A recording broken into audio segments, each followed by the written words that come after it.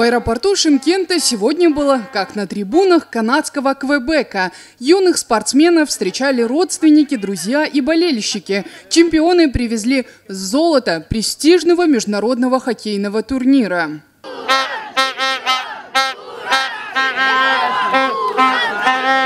Самым сложным, по словам чемпионов, выдался матч с британцами. Победу удалось одержать благодаря стойкости и характеру.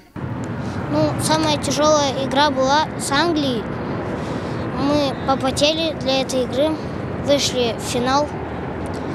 Э, первую игру мы сыграли 9-2, выиграли. Э, я очень был рад этой игре.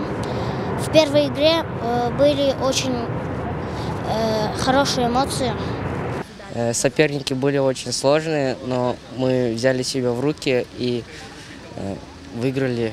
Казахстан впервые за 63 года участвовал в международном турнире и сразу такая оглушительная победа. Соревнования среди участников до 13 лет проходили в Канаде 8 дней. В турнире приняли участие 60 команд со всего мира нашим чемпионом.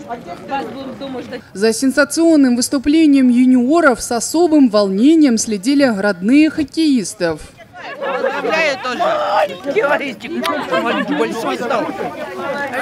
Молодец. Мы смотрели все турнирные, товарищеские встречи. И во всех этих встречах наш внук проявил себя. Везде он то по три шайбы, по, по две шайбы. И во всех играх он забивал больше всех голов. И по итогам этого турнира единственный он, как э, самый лучший игрок, бомбардир, который больше всех э, собрал, забил ворота противника шайбы, он стал лучшим. То, что вот мы, конечно, сейчас выехали на турнир международный, получается, ПВ, который проходит ежегодно. А в этом году именно этот турнир проходил среди участников 2010 года. И наши дети, получается, и Султан, и Саша были а, заявлены, приглашены. Но мне очень рада, что наших детей заметили. Нам очень, конечно, мы очень гордимся этим.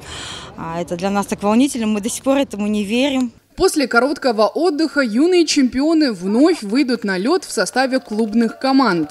Коркема Сибалиева, Ерлан Бексаидов, Александр Крапивкин. Информационная служба телекомпании «Утрар».